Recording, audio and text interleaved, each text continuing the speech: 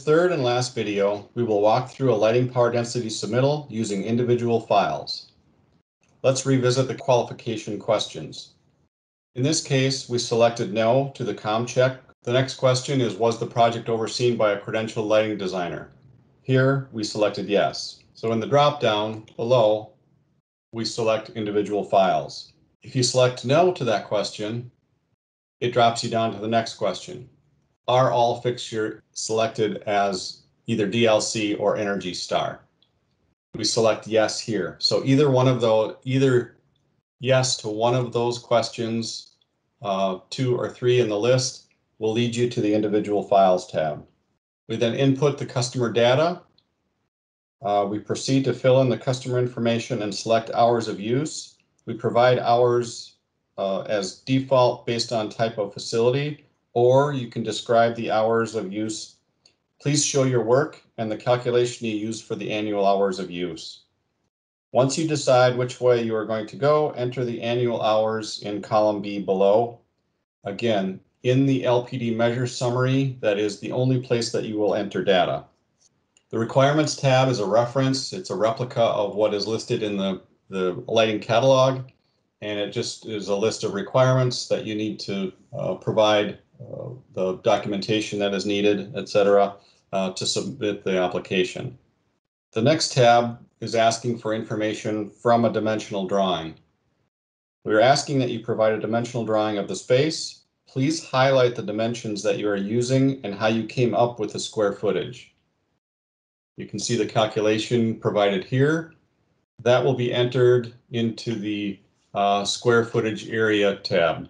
Please describe the area, uh, possibly what's in in the uh, the area of the space provided, in this case, that was a fire station. You might have uh, a couple different locations, uh, warehouse, office space, etc. List those and describe the uh, square footage uh, that's provided on your dimensional drawing. You can use as many space types as you need to do this. The next tab is asking for detailed information about the fixtures. So we're asking that you provide a fixture layout. An example is provided here as well as a lighting fixture schedule. Um, just helps us to define the detail around what you're providing, uh, lists out potential quantities, types of fixtures, etc.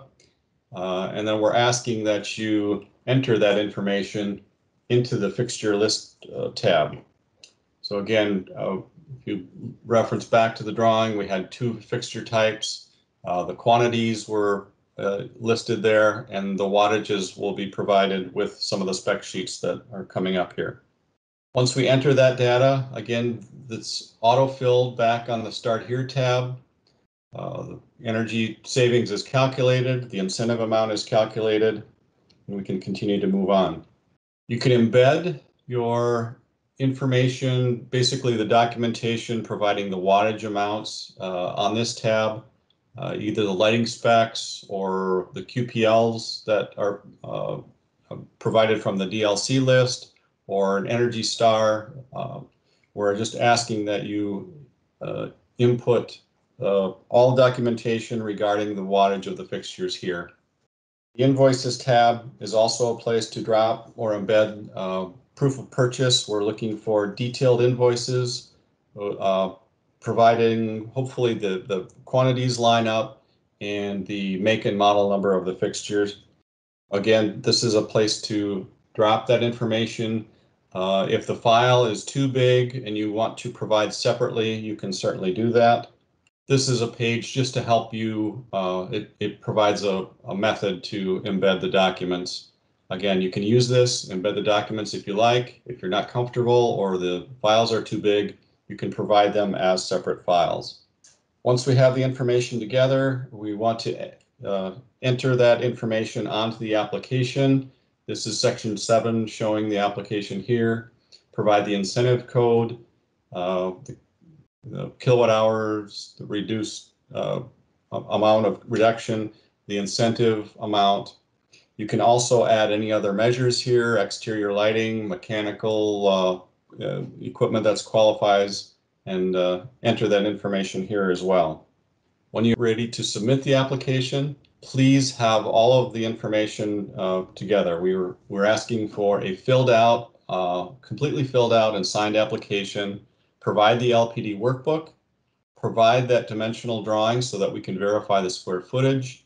Uh, provide your lighting layout uh, and lighting schedule as built so that we can verify fixture quantities. Provide your specifications, your DLC uh, or, or Energy Star um, QPLs, and so that we can verify the wattage of the fixtures. And then we are also looking for the documentation for the as-built invoices. Again, detailed invoices, quantities, make, model number, and submit that to business at focusonenergy.com. This concludes our third video. Um, again, if there are any questions, please contact us by phone or by email.